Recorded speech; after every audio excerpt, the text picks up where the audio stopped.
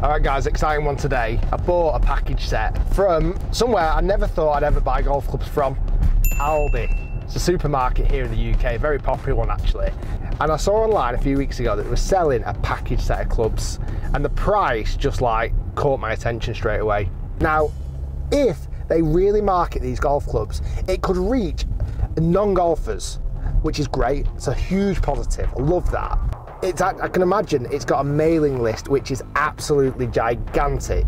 The thing that scares me, if these clubs are terrible or they're not fit for purpose, a lot of non-golfers might buy these clubs, give them a test and then quit because they're not good enough.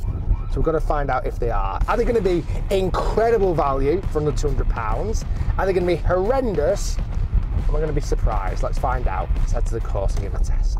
There is a bit of damage here on the box. Hopefully that's not damaged the clubs. I'll have to open it up and find out. And I also got this with it as well, because there's a few extra little bits that come with the clubs also for that price.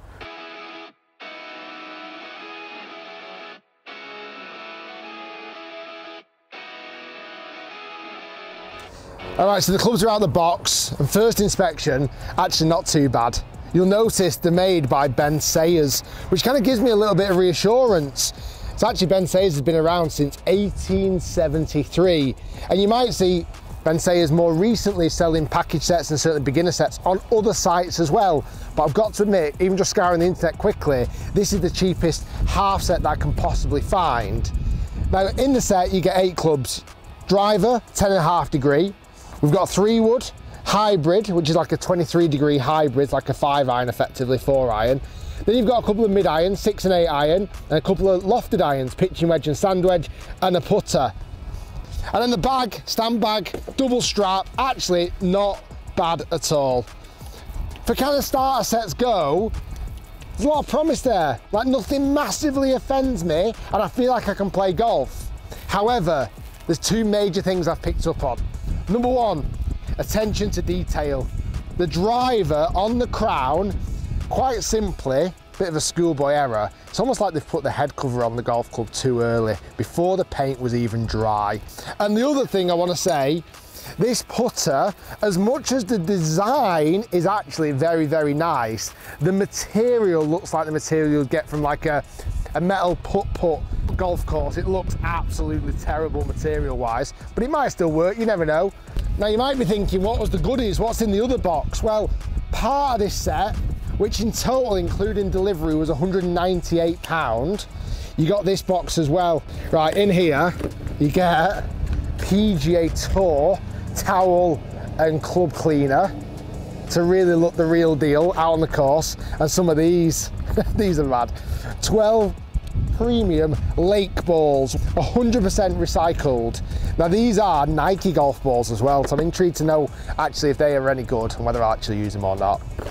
Well, anyway, so far, not bad. Let's open this up, get them on the bag and get on the golf course.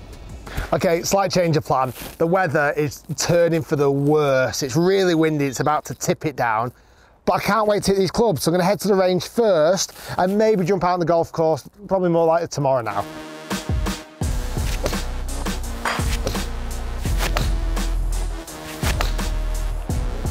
They actually don't feel too bad. Some nice strike marks there. Whoa, grip's on a bit wonky. Oh my goodness. Like that head straight now and Ben Sayers is way to the left. Oh, that's a, that's a real shoddy job there.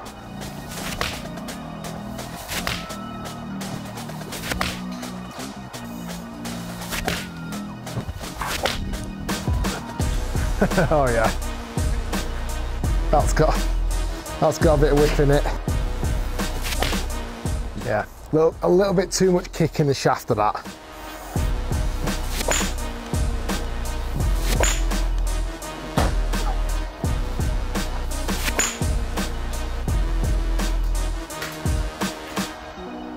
It shouldn't go that straight. A club that flat shouldn't go that straight.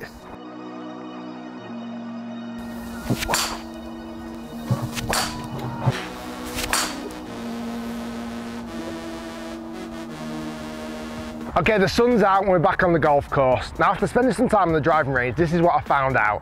The grips are poorly fitted, they're not straight at all. The shafts in the woods feel very flimsy. The three wood is ridiculously flat angle. No way of hitting that one left. The hybrid alignment is very strangely positioned, really in the middle of the head, and the driver is very closed at address, and the paintwork on the alignment is very, very annoying. But all that being said, the performance wasn't too bad. Like I actually felt like I hit some good shots on the range. So I'm gonna do now, I'm gonna jump on the golf course, play three holes here, little par three up the hill, par four coming back, and then par five. I've got my GC quad with me as well, because I'm intrigued to see how far this driver's actually going. And at the end of this video, I think I might have set up a little fun challenge coming soon. Stay tuned to find out what that is. So I've got my nice new towel attached and my club cleaner ready for action. Now, these golf balls, I know they came with the set, and I've just had a quick look at them, and they actually look fine. They just look like old Nike golf balls, things like Mojos and other types of balls, but really, I'm not gonna use them in this test. I'm gonna use, use a Pro V1 that I'd normally use, just so that I can't blame the ball for the club's performances as such. Right, first hole, it's playing about 180 yards. I think I can probably get hit six iron there. That's what I'd normally hit, so let's see if that's what I hit with these clubs. Now the other thing I wanted to say as well, the actual shaping of the iron head isn't too bad at all. It actually reminds me slightly of like an oversized Callaway iron behind the golf balls, looks wise anyway. All right, come on, let's hit a good shot to start. That's actually not bad. That's actually pretty good. Front edge of the green, the flight was strong, a little kind of penetrating draw. Hey, listen, we're going to be putting. I've not actually hit the putter once yet. That'll be interesting to see what that's like. This is where that ball pitched. We've got a little bit of backspin going on as well. Not loads, but chewed back a touch. Let's see how the performance is. We've got a nice little alignment line on top and then three at the back. It's a classic shape. It's like a ping piper. I remember having one of those back in the day.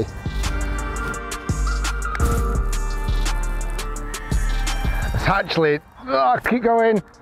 It, the, the, one thing I'd say it's quite light, like the head feels quite light, so I felt like I had to give that a real swing to get it up there. As you can see, I've still left that a touch short.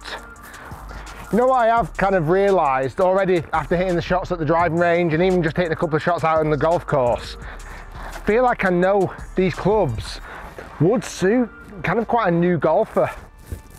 You know, and you might be watching this video and say, well, I've got golf clubs, I don't need them. But how many times have we tried to introduce a friend into golf?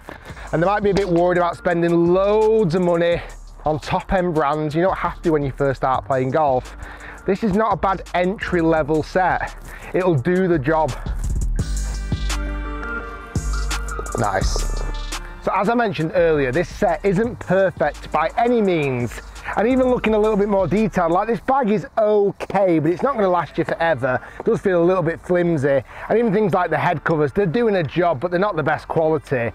And also you might question kind of quality control. Certainly with a set like this, you're not gonna get it exactly the same as your big major brands, that's why you pay the extra bucks. Now what I am interested to see as well, I've got GC quad set up, is I've got feeling that this driver won't go as far. I saw that a little bit at the driving range yesterday. Let me hit some shots on GC Quad with Pro V1s and just see what the actual difference is. But I normally carry the ball about 280 yards, getting about 160 miles per hour ball speed with my normal top of the range driver. What would it be like with this?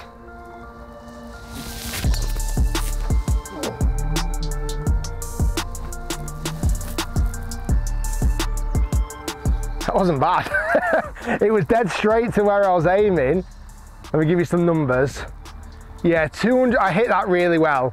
253 yards of carry and only 149 miles per hour ball speed. And I did, I hit that solid. So a few more, see if anything changes. Yeah, that was really well hit again. Like I, I couldn't have struck that any nicer. 252 yards carry, 152 miles per hour ball speed. I don't think I'm gonna get much more out of it than that. So that's like nearly 30 yards shorter than my standard driver. Now again, a lot of people when they first start, I don't think this is a massive issue because it's just getting them going. what I do quite like, it feels like an easy driver to hit, and that's what's more important. Right, what I'm gonna do next, I'm gonna play that last ball, I'm gonna play it from there, play this hole in the par five, and just see what I can shoot, and then I'll tell you about what the fun challenge is gonna be coming up next. Right, just making sure my grooves are nice and clean, my club face is nice and dry. Gotta use it. Now, normally if I'm hitting my normal driver that game, I would be kind of front of the green, probably nearing that bunker or certainly around the front. And obviously you can see here, I'm like 40 yards further back. So definitely there's a big difference between my normal driver. However, let's see if we can play a nice little pitch in here. I've just got the sand wedge in hand, got a little bunker to get over. Come on, play a nice shot here. Sit. Oh! I didn't expect that little bit of naughty spin. It's because I clean my grooves. Because I had clean, dry grooves, it makes all the difference. This is the true winner today, this little combination. that was actually quite a nice shot. Flew it past the flag, but it didn't half back up a few feet. Oh, I thought it was gonna be faster. That's a shame. Par, onto the par five next. As I play this last hole of the par five, I'm also going to tell you what the challenge is coming up next, and it is an absolute cracker.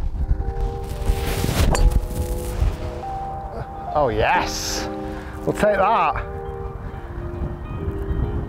It's gone nowhere, but we'll take it. So the challenge coming up in the next video is this. I'm going to play round here, my home golf course, Marriott Worsley Park, for nine holes using my own golf clubs, the clubs I use every single day, the clubs that are fitted for me, that are fine tuned to my performance. And I'm gonna play against this 200 pound package set. They might think, well, Rick, surely, surely your clubs are gonna do better. That's what you think. However, the golfer I've got using these clubs is pretty special.